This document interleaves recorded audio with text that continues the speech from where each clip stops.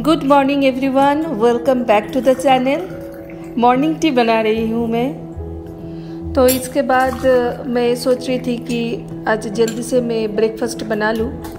और ब्रेकफास्ट बनाने के बाद लंच भी अगर जल्दी हो जाए तो मेरा जो बाकी का काम है, वो करना है। तो मैं अश्मिता के लिए मैं पहले दूध उबाल लेती हूँ बॉईल कर लेती हूँ, उसको दे देती हूँ।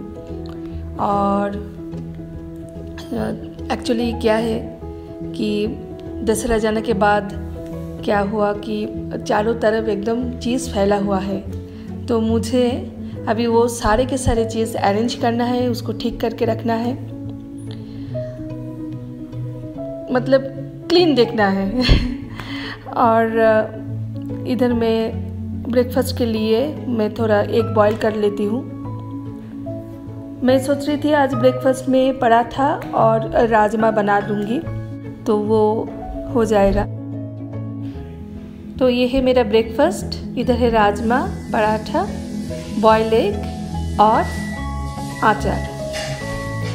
तो लंच का प्रिपरेशन मैंने ऑलरेडी कर लिए हैं, और यहाँ पर मैंने जो सोयाबीन है, इसको हल्का बॉईल करके पूरा पानी निचोड़ के रखी हूँ और इसके अंदर मैं अभी डाली हूँ जिंजर गार्लिक पेस्ट थोड़ा सा हल्दी पाउडर और थोड़ा सा नमक अकॉर्डिंग टू टेस्ट और अभी मैं आ, लाल मिर्च पाउडर में ऐड कर रही हूँ।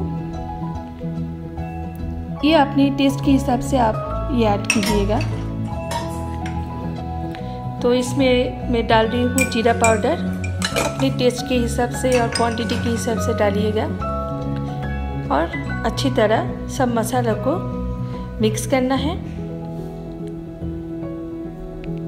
एक्चुअली मैं इसको मैरिनेट करूँगी। थोड़ा सा मैं इसके अंदर मास्टर्ड ऑयल डाल रही हूँ। पूरा मसाला और मास्टर्ड ऑयल के साथ इसको अच्छी तरह मिला के ऐसे 15 मिनट्स के लिए आप इसको मैरिनेट करके रखिए। तो जब तक मैरिनेशन चल रहा है, तब तक मैं इधर थोड़ा मिल्क टी ले ले लेती हूँ। एक्चुअली ब्रेकफास्ट लेने के बाद मन करता है थोड़ा सा चाय पीने का। तो इस समय हम लोग जनरली क्या करते हैं तो दूध चाय लेते हैं।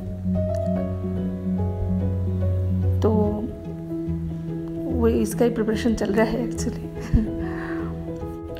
तो दाल राइस और भिंडी फ्राई मैंने ऑलरेडी बना लिए हैं। तो अभी सिर्फ़ मुझे सोयाबीन की सब्ज़ी बनाना है। तो ये चाय पीने के बाद ही मैं शुरू कर दूँगी। तो सोयाबीन की सब्ज़ी बनाने के लिए मैंने ऐसे चार आलू लिए हूँ और इसको ऐसे स्क्वायर करके मुझे काटना है। और मैं यहाँ पे दो ग्रीन चिलीज़ और एक मीडियम साइज़ का ऑनियन लिए हूँ। ऑयल गर्म हो गया है, अभी मैं आलू फ्राई कर लेती हूँ। थोड़ा लाल लाल करके मुझे वो फ्राई करना है। तो उसके बाद मैं अभी ऑनियन उसे ऑयल में डाल दिए हूँ और तेल के अंदर पहले मैं जीरा और सूखा लाल मिर्च डाली हूँ। अच्छी तरह ऑनियन फ्राई हो गया है। अभी मैं इसके अंदर डालूँगी जिंजर और गार्लिक और ग्रीन चिली का पेस्ट तो थोड़ा सा पानी दे रही हूँ। अच्छी तरह मसाला को मिक्स करना है। तो अभी मैं एक एक करके इसके अंदर एक मीडियम साइज़ का टमाटो डाली हूँ। और थोड़ा सा पानी दे रही हूँ, क्योंकि मैं अभी मसाला दे रही हूँ। जीरा पाउडर डाली हूँ। थोड़ा सा धनिया पाउडर। शुगर डाल रही हूँ वन टीस्पून अच्छी तरह मिला लूँगी। देखिए, अभी ऑयल निकल गया है।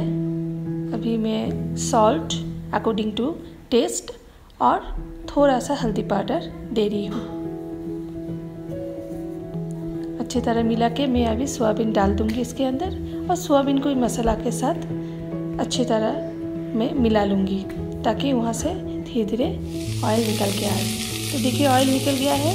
मैं ग्रीन चिली डाल गई हूँ और जो मैंने पोटैटो फ्राई करके रखी थी वो अभी दे दिए हैं। सारे के सारी मसाला और सोयाबीन और आलू अच्छी तरह मैं मिला रही हूँ। ऑयल तो निकल गया है। इसका मतलब मसाला अच्छी तरह फ्राई हो गया है। और जो मसाला का और मसाला का जो एक रॉ स्मेल है, वो भी निकल गया है। अच्छी तरह मैं अभी इसको मिला रही हूँ। हो गया है मेरा ऑलमोस्ट डन अभी मैं थोड़ा सा गर्म पानी के अंदर डालूँगी तो मेरा सोयाबीन का सब्ज़ी रेडी हो जाएगा। और दाल राइस सोयाबीन की सब्ज़ी और भिंडी फ्राई यही आज मेरा लंच का मेनू है। तो आप मुझे बताइएगा कि आज का लंच आप लोगों को कैसे लगा? तो यही मेरा एक्स्ट्रा काम है। देखिए, चारों तरफ़ सामान फैला हुआ है। अब इस सबको मुझे ठीक से अरेंज करना है। तो मैंने सब अरेंज कर लिया है। मुझे तो बहुत ही अच्छा लग रहा है। एकदम साफ़ सुथरा दिखाई दे रहा है। और नीचे का पोर्शन भी मैंने एकदम ठीक कर दिया है। हर एक बॉक्स का अलग अलग बॉक्स मैंने बना के उसको अरेंज करके रखी हूँ। बहुत अच्छा लग रहा है मुझे। तो ये है फ़र्स्ट रो जहाँ पे मैंने सारे के सारे मसाला अरेंज करके रखी हूँ और इसके ऊपर और एक रो है जहाँ पे मैं जो बिस्किट है वो मैंने अरेंज करके रखी हूँ ताकि किसी को ढूँढने में तकलीफ़ ना हो।